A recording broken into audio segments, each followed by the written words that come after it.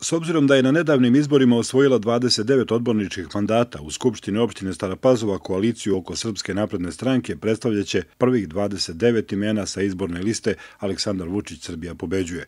To su Đorđe Radinović, Nedeljko Kovačević, Dragana Stević, Bogdan Miljević, Zdenko Gašić, Jelena Ivančević, Janko Havran, Dragomir Kantar, Rada Žugić, Dušan Skopljak, Mirko Peršić, Zora Ljepoja, Velimir Lukić, Živojin Gabrić, Anđa Tirinda, Saša Milićević, Bojan Šara, Šarac, Slavojka Mirković, Branislav Ristić, Aleksandar Tukelić, Lozana Lazić, Vladimir Jovanović, Siniša Inđić, Jovana Lepšanović, Milan Čečarić, Dragan Milaš, Snežana Tabaković, Dragan Nedeljković i Mita Rašćarić. Sa izborne liste dr. Vojislav Šešelj, Srpska radikalna stranka, u odborničkim klupama sedeće Srđo Komazec, Dragan Roksandić, Vesna Savić i Dejan Mitrović. Grupu građana izbor za našu opštinu u Skupštini opštine Starapazova predstavljaće Milan Turanjanin, Ana Pejović-Stanković, Nenad Gligorić i Bogoljub Milanović. Odbornici Socialističke partije Srbije biće Zoran Vukašinović, Lazar Vračević i Jelena Borovac. Demokratsku stranku će predstavljati Slobodan Ilić, Jovan Tišma i Sandra Dronjak. Iz koalicije Goran Jović uz pazovački pokret do pobede Socijaldemokratska stranka, Liberalno-demokratska partija, Liga socijaldemokrata Vojvodine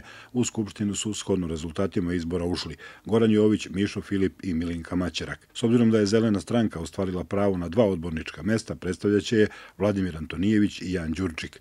Republička izborna komisija će im do 29. aprila u ponoć dostaviti rešenja o odborničkim mandatima. U roku od 30 dana mora se održati konstitutivna sednica novog saziva Skupštine opštine Starapazova. Prvu sednicu saziva predsednik dosadašnjeg saziva, a do izbora novog rukovodstva njome predsedava najstariji odbornik aktuelnog saziva, najvjerovatnije dr. Mišo Filip. Naravno, u zavisnosti od konstituisanja postizbornih koalicija, skupštinski saziv će se promeniti jer po imenovanju odbornika na neku dužnost ili funkciju u odborničke klupe će sesti sledeći po redu sa izbornih lista. Na sajtu staropazova.rs može se videti svih 10 izbornih lista i svih 315 kandidata koji su bili u trci za 48 odborničkih mesta.